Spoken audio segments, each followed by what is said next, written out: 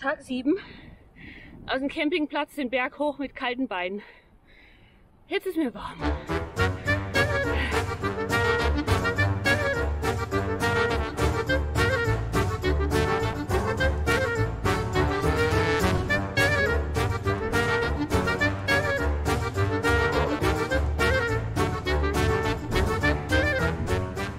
Es war ein sehr ruhiger Campingplatz. Ich hatte mich abends noch erschreckt, weil es hieß, es kommen noch zwei Gruppen. Das eine waren eine Gruppe junger Menschen, die alle mit möglichst wenig Gepäck Richtung Ostsee fahren. Das andere war eine Familie, Mama mit drei Kindern. Das ist auch schon, oh, oh, oh, ein Bücherschrank. Ich unterbreche.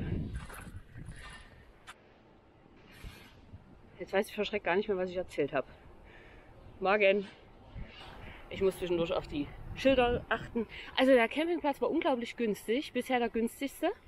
Ähm, 11 Euro die Übernachtung, nochmal 50 Cent, um mein Handy einfach an der Rezeption einzustöpseln und dann nochmal 1,50 Euro für die Duschmarke.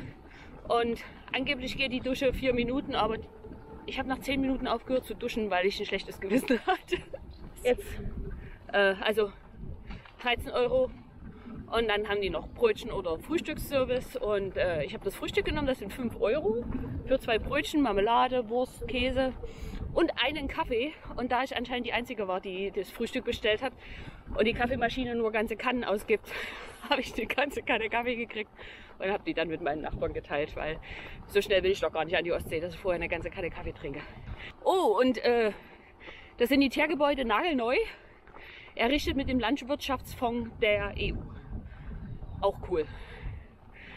Ich bin ja immer ein großer Fan, sowas zu erwähnen, weil es immer heißt, wir zahlen so viel in die EU ein und kriegen nie was zurück, aber wir kriegen auch was zurück.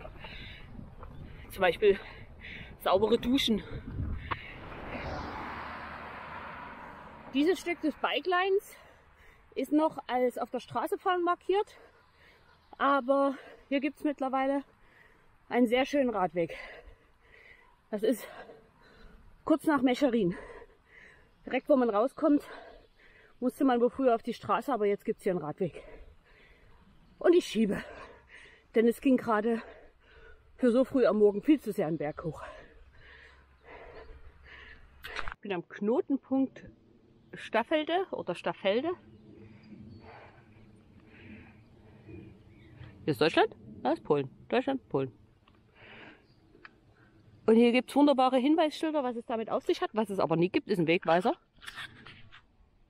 Oder Neiseradweg. Ich vermute, es geht nach da.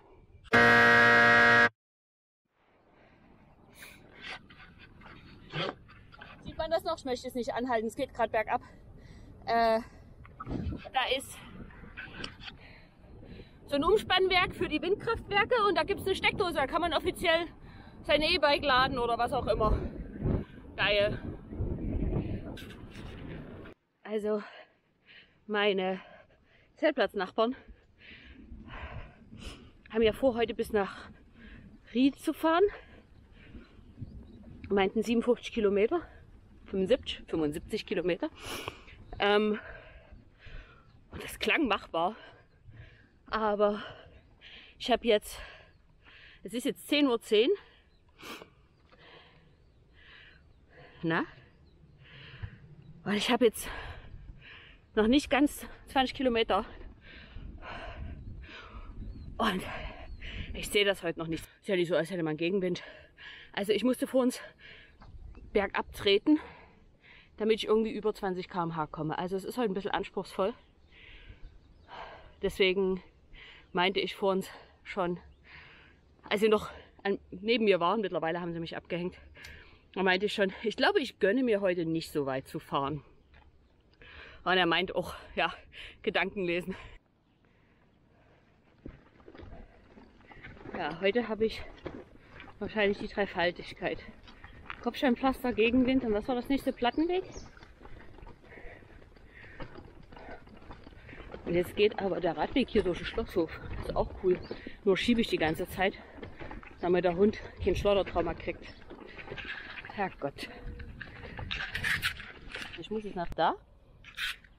Jetzt wird auch der Weg endlich wieder besser. Und da steht dann Schildradfahrer absteigen. Danke. Ich bin gar nicht dazu gekommen, mich draufzusetzen.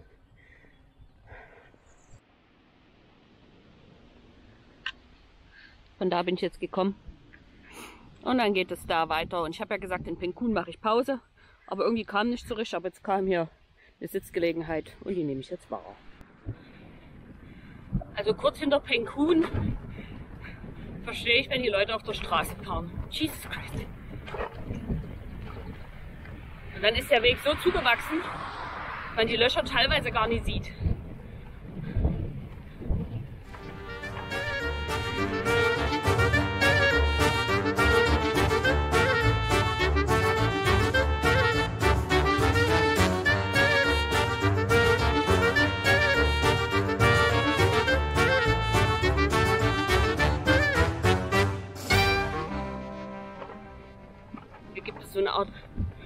Straßenbegleitende Wiese oder so. Ich frage mich, ob das wirklich jemand fährt.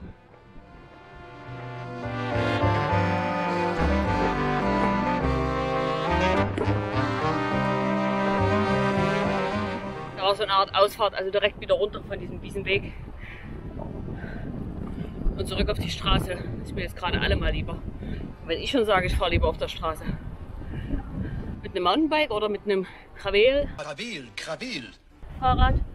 Bestimmt, bestimmt machbar. Aber für mich jetzt gerade und für den Hund, nee. Absolute Kackscheiße, hätte ich beinahe gesagt. Zeigt wieder deutlich, dass ein Schild noch keinen Radweg macht. Ne? Jetzt geht es hier wieder straßenbegleitend an einem, auf einem asphaltierten Radweg. Also hoffentlich, hoffentlich heißt das, dass es jetzt besser wird. Und dass wir das hinter uns haben. Klar schimpfe ich über Wind und Berge und so weiter und so fort. Aber das ist ja alles zu fahren. Aber wenn mir der Hund durchgeschüttelt wird, weil es so holprig ist, Beispiel A, dann ist halt wirklich nichts mehr zu holen und dann muss ich schieben und dann komme ich wirklich nicht voran.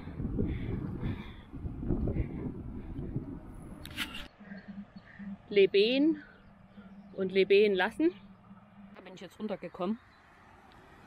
Und da ist hier voll der schöne Rastplatz am See. Wir sind immer noch in Leben. Leben am See. Leben, wie auch immer. Es ist kurz vorm zwölf. Ich mache Mittag. Reicht. Oh Gott, oh Gott, oh Gott, oh Gott. Bonk. Einmal ein Graben. Ausgezeichnet. Mittagspause haben wir gemacht. Ähm, ich habe jetzt mal auf die Karte geguckt. In Löckwitz gibt es in elf Kilometern einen Campingplatz. Jetzt ist es erst kurz nach zwölf. Aber das hat mich ja früher auch, oh, früher, die letzten Tage auch nie davon abgehalten, auf den Campingplatz zu gehen. Ich habe das Gefühl, der Hund ist fix und fertig. Dem ist es auch zu kalt, es sind 17 Grad. Ich habe dem schon in meine Jacke gewickelt, was zur Folge hat, dass es mir ein bisschen zu kalt ist. Da werden wir jetzt nach Löckwitz fahren und dann werde ich dort dem Hund das Zelt aufbauen, wenn die Platz für uns haben. Und dann kann er sich reinhuscheln.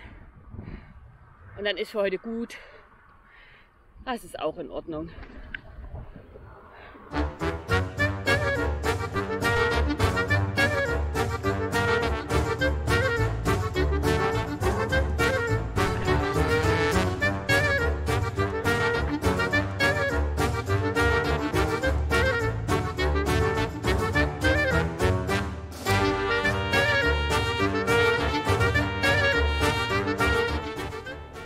Geradeaus geht es weiter auf dem Oder-Neiße Radweg, aber ich biege jetzt ab, denn hier geht es zum Campingplatz. Ja, auch das ist der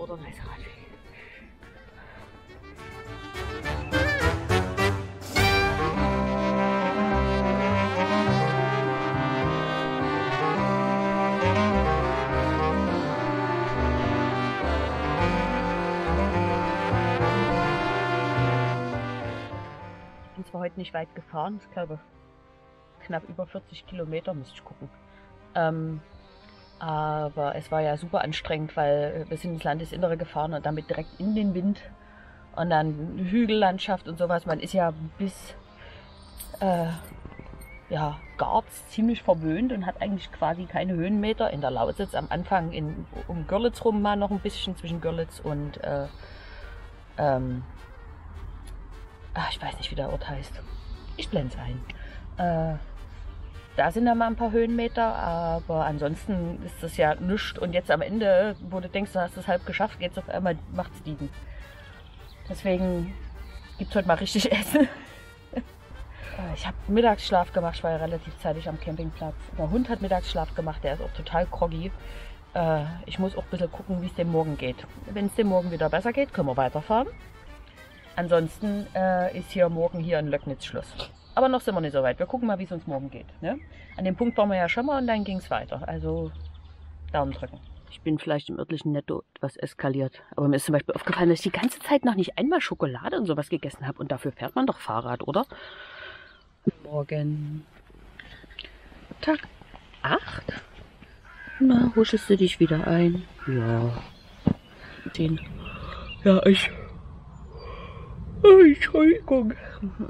Ich muss erstmal Kaffee machen. Der Stellplatz. Hier gibt es direkt Strom und man braucht noch nicht mal einen Adapter. Ich habe die Powerbank nicht über Nacht liegen lassen. Ich wusste ja, dass es regnen soll. Tisch und Bank. Hier habe ich noch Nachbarn aus Tschechien. Direkt hier hinter dem Zaun geht der Waldweg lang. Letzte Nacht oder gestern Abend auch ein Problem, weil so ab 18 Uhr bis 22 Uhr hat die Wald, äh, die Waldjugend, hat die Dorfjugend, Dorf, äh, beschlossen, dass sie mit ihrem Simmen da mem, mem, mem, mem durch den Wald müssen. Oh. Auch die Straße vom Campingplatz ist recht laut, aber ja, so 21, 30, 22 Uhr war dann Ruhe. Also die Entscheidung ist gefallen. Der Hund ist total groggy. Und äh, ich denke, wenn ich heute einen Tag Ruhe machen würde und einfach hier bleiben würde dann könnte ausschlafen, dann könnte ich morgen wieder weiterfahren. Aber dafür habe ich keine Zeit mehr. Das heißt, ich nutze jetzt die Tatsache, dass gerade die Sonne scheint, lasse alles noch ein bisschen trocknen. Und dann geht es zum Bahnhof. Ich könnte auch noch bis nach Pasewalk fahren, das sind noch 20 Kilometer, aber ich will dem Hund jetzt einfach alles ersparen. Das heißt, ich fahre hier in Löcknitz zum Bahnhof, fahre dann mit dem Zug nach Pasewalk und dann, äh, ja, und dann von dort nach Berlin und dann von Berlin nach Dresden, wenn die DB-App mir das so richtig rausgesucht hat. Ich muss halt mal gucken, wo ich äh, einen Stellplatz für mein Fahrrad reservieren kann, weil die Verbindung zwischen Berlin und Dresden, das ist keine, das ist ja kein Regio, was mir eigentlich ganz recht ist. Da bezahle ich lieber eine Fahrkarte und reserviere fürs Fahrrad und weiß, dass es mit kann.